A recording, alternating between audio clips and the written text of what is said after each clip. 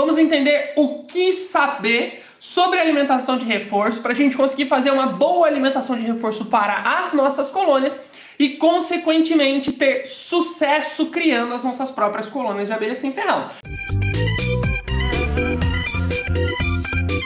Basicamente, alimentação de reforço, o próprio nome já meio que diz mais ou menos sobre o que se trata, é uma alimentação suplementar, como se fosse um suplemento vitamínico que a gente oferece para a colônia para tentar é, é, imitar o alimento que ela obteria na natureza se estivesse tudo bem, nos parâmetros corretos.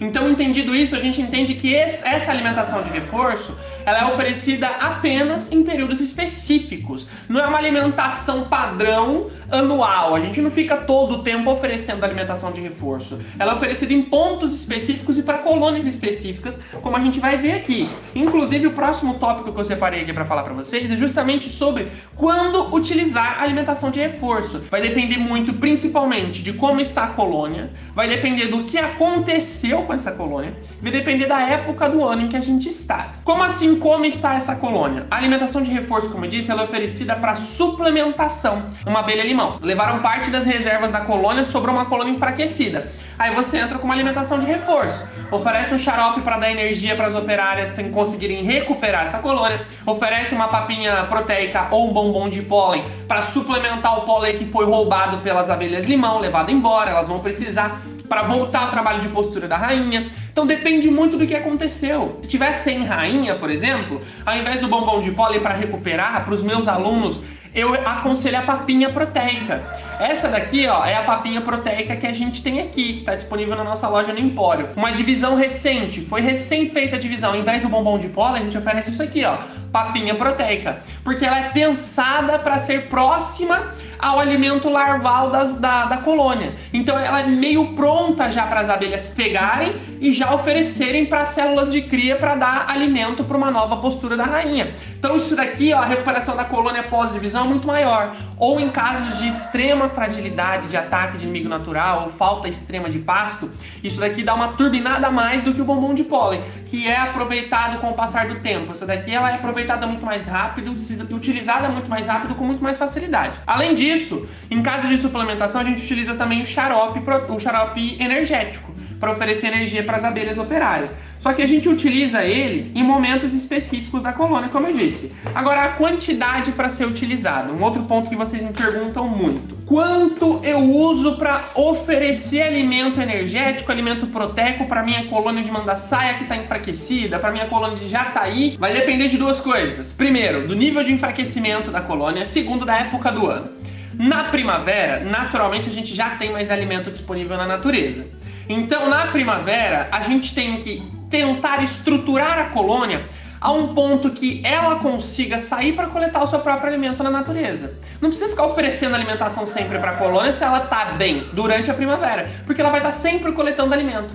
Agora, durante o inverno, se tem uma colônia que está em um local que não tem tanto pasto disponível, essa alimentação suplementar tem que ser feita periodicamente. E a quantidade muda de acordo com o nível de fragilidade da colônia. Se a gente tem uma colônia com 50 operárias, uma rainha, pouquíssimos discos de cria, super fragilizada, um trabalho muito lento porque não tem reserva alimentar, a gente vai oferecer uma quantidade de alimento específica. Normalmente um pouco menor por conta da quantidade de operários, elas não conseguem aproveitar tanto. Agora, se a gente tem uma uma colônia que está muito bem, ah, e essa colônia fraca, o alimento sendo uma quantidade menor, ele é oferecido em tempos menores, né? Uma periodicidade mais curta.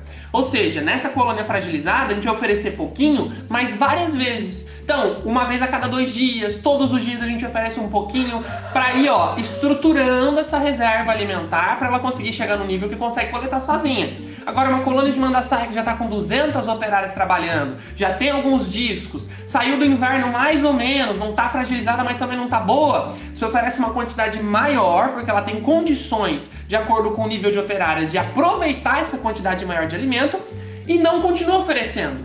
Você oferece uma vez uma quantidade grande, ela vai se estruturar, vai ter energia, vai começar a coletar externo, porque ela tem condições de fazer isso. Entendeu os pontos que varia? É claro, varia de acordo com o tamanho da abelha. Para uma melípona, a gente oferece em torno de 100 ml, de 50 a 150 ml por vez a gente oferece 150 para colônias boas, que já estão bem, não precisam fazer essa alimentação periódica. 50 é uma quantidade menor para colônias que estão mais fragilizadas, porque elas não conseguem aproveitar tanto assim, e vai oferecendo várias vezes até que a gente perceba que essa colônia está bem o suficiente para coletar alimento na natureza, que é o principal. A gente tem que entender que a alimentação de reforço para colônias de abelha sem ferro, ela não pode, não deve ser encarada como uma alimentação principal. Como eu disse desde o início, é uma alimentação suplementar. O principal que as abelhas precisam é o que está nas flores é o néctar, é o pólen. A gente não pode encarar uma papinha proteica, um bombom de pólen, um xarope é, energético como sendo o néctar e pólen das flores, porque não é e nunca vai chegar perto de ser. Porque as abelhas escolhem as flores que elas vão usar e a gente oferece um xarope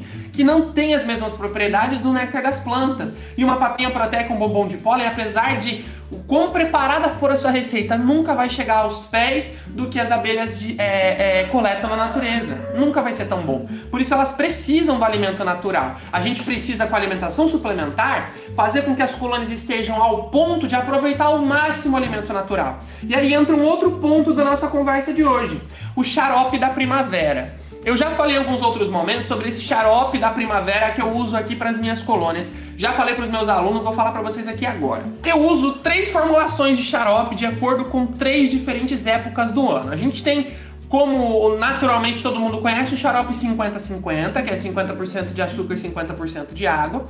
A gente tem, eu utilizo em alguns momentos o xarope 40-60, 40% de açúcar, 60% de água, e o xarope 60-40, 60 de açúcar para 40 de água. Levando em consideração que é um litro, então vai ser aí 60% de açúcar, 40% de água para o 100% que é um litro, tá? Então a gente usa essas três diferentes medidas. Para qual, qual época do ano que você usa cada um, Gabriel? A que tem mais açúcar, ela tem um potencial energético maior. Por conter mais açúcar, ela vai ser mais concentrada energeticamente falando, vai ter uma porcentagem de açúcar maior. Então essa que tem mais açúcar, eu ofereço em que período? Quando elas precisam de mais energia, eu ofereço menos, que tem mais energia para elas aproveitarem mais. O período que tem pouco alimento disponível, que elas precisam dessa energia para aquecer a colônia, que gasta muita energia, durante o inverno. Eu ofereço durante o inverno um xarope mais concentrado. Ele tem uma concentração de açúcar maior com relação à água. É o 60-40. Isso vai ajudar elas durante o período de inverno a manter o calor da colônia, a manter as operárias adultas aquecidas. Vai ajudando essa colônia nesse período. O xarope 50%, 50%. Eu ofereço em todos os momentos. Os momentos que não precisam dessas especificações, do 40-60 ou 60-40, eu vou oferecendo metá-metá, que é uma formulação simples e ela funciona para todos os quesitos. Agora, o que eu quero falar sobre o xarope da primavera é o xarope 4060. Ele tem mais água do que açúcar. Esse xarope 4060 ele tem uma peculiaridade. Ele se parece muito com uma coisa que as abelhas encontram na natureza, que é o néctar. O néctar, o xarope, ele nasceu para se assemelhar ao néctar. As abelhas vão pegar esse xarope como se fosse um néctar. Dentro da colônia eles vão trabalhar esse xarope como se fosse um néctar, só que ele não vai virar em nem a pau não vai nem chegar aos pés do mel, que seria o mel floral, né? Ele vai ser um, um, um melado de xarope, né? Produzido dentro da colônia. Porém, se a gente tenta colocar um xarope 40% de açúcar e 60% de água, ele vai ficar numa concentração de açúcar muito semelhante à do néctar encontrado na natureza. Os néctares que as abelhas utilizam para coleta de, de, de alimento para a produção do mel, eles têm entre 30% e 50% de açúcar na sua composição. Então 40% é uma média de açúcar que elas estão acostumadas. Quando está entrando a primavera, nesse momento que a gente está agora, a gente oferece um xarope 40% de açúcar, 60% de água, o que, que acontece com as colônias? Elas vão se sentir estimuladas a coletar um alimento semelhante a esse xarope. Por ter uma concentração muito próxima do néctar, isso estimula a coleta do néctar, principalmente se for oferecido de forma externa para as colônias. Eu ofereço na entrada da primavera o xarope 40 e 60 para as minhas abelhas e eu percebo que a, o nível de coleta alimentar delas durante esse período, o aproveitamento das floradas é muito maior, porque isso estimula a coleta delas, tá? Outra dica para vocês.